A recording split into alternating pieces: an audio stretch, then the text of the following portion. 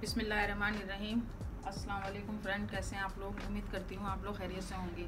आज मैं आपके लिए मुतंजन जर्दे की रेसिपी लाई हूँ, जो शादियों में बनता है जर्दा मुतंजन।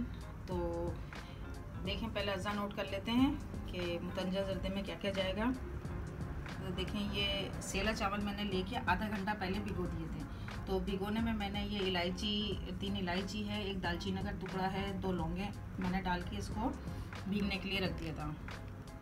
तो ये डेढ़ पाव चावल है और ये होममेड खोया है। मैं इसको बाद में आपको इसकी रेसिपी दूँगी। और ये अशरफियाँ हैं। ये भी जर्दे में जाएगा ऊपर से। और जो फ्राई में जाएगा मेवा, वो देख लें आप। ये मैंने थोड़ा सा खोपरा काट के रख लिया है। किशमिश थोड़ी सी धो के साफ़ करके रख ली है। कुछ बादाम मैंने काट के रख लिए हैं, छील के। और पिस्ता भी मैंने छील के रख लिया है। और ये बघार में छोटी इलायची और लौंगे जाएँगी। और देखें कलर, ये ग्रीन कलर है, ये येलो कलर है, ये रेड कलर है। ये भी जर्दे में जाएगा। अच्छा ये केवड़ा एसेंस है, ये भी ऊपर से दम पे जाएगा। अच्छा चीनी है ये। चीनी, एक पाव से थोड़ी कम चीनी है, क्योंकि डेढ़ पाव मैंने सेला चावल लिए और ये आधा पाव जितना मैंने घी लिया है, क्योंकि घी से बनेगा मुतंजन जर्दा।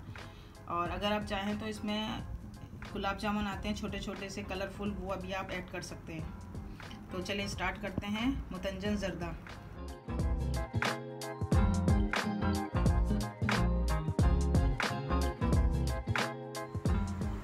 तो देखें फ्रेंड ये मैंने मुतंजन जर्दे के राइस जो हैं, ये बॉईल होने रख दिए हैं, जिसमें इलायची, दालचीनी, लौंग मैंने डाली थी, वो इसी के साथ ही बॉईल करेंगे।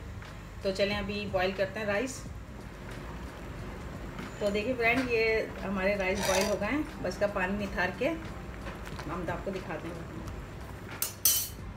तो देखिए, अभी पहले हमने मेवा फ्राई करना है। ये मैंने जो घी रखा था, ये मैंने डाल दिया इसमें और इसके साथ ही ये इलायची और लौंगे।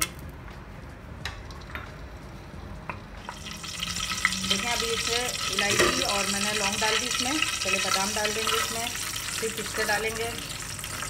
बिल्कुल धीमी आँच पे हमने ये मेवा फ्राई करना है।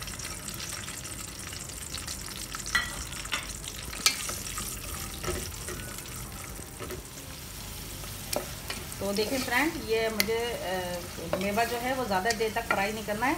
अक्सर लोग जो है मेवा इसी तरह कच्चा डाल देते हैं, लेकिन हल, हल्का सा फ्राई करेंगे लाइट सा तो वो और अच्छा जायका देगा मेवे का। तो देखिए फ्रेंड मैंने मेवा सारा फ्राई करके, बिल्कुल थोड़ा थोड़ा सा फ्राई करके मैंने मेवा निकाल लिया, अब इसी में मैंने चीनी ऐड करनी है। तो देखें, अभी मैंने इसमें चीनी डाल दी है ऑयल घी में। अब इसके साथ मैंने थोड़ा सा पानी डालना है ताकि चीनी पिघल जाए और थोड़ा सा शीरा बन जाए इसका। मतलब शीरा इतना मुझे तार वाला नहीं बनाना है फिर इसमें मुझे राइस डालना है। तो चले चीनी भूनने का इंतज़ार करते हैं। देखिए फ्रेंड चीनी इसकी पिघल गई है बिल्कुल अब इसमें मैंने राइस डालना है। तो देखिए फ्रेंड जो मैंने चीनी पिघलाई थी अब इसमें मैंने राइस डाल दिया है। इसको थोड़ी सी देर हमने दम पे रखना है फिर उसके बाद मैंने जो कलर वगैरह है वो ऐड करना है तो देखें फ्रेंड ये अच्छे से चीनी इसमें मिक्स हो गई अब मैंने इसमें थोड़ा सा केवड़ा एसेंस डाल के और इसको दम पे थोड़ी देर छोड़ना है। फिर इसमें उसके बाद मैंने कलर लग, डालना है इसमें। तो देखें फ्रेंड अब इसके अंदर हमने कलर ऐड करना है। ये पहले मैंने एक साइड पे थोड़ा सा ग्रीन कलर डाला है। फिर एक साइड पे मैंने ये अपना येलो कलर डाला है, पीला।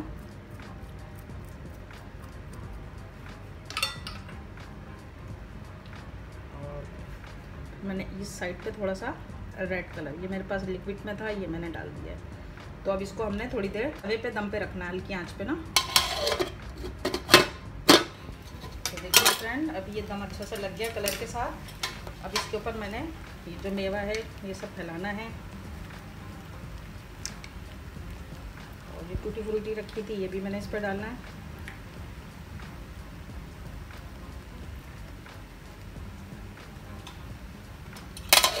में दो मिनट के बाद मैं आपको डिश आउट करके दिखाती हूँ। बाकी उसमें जो खोया मैंने, वो ऊपर से डालना है गार्निश के लिए।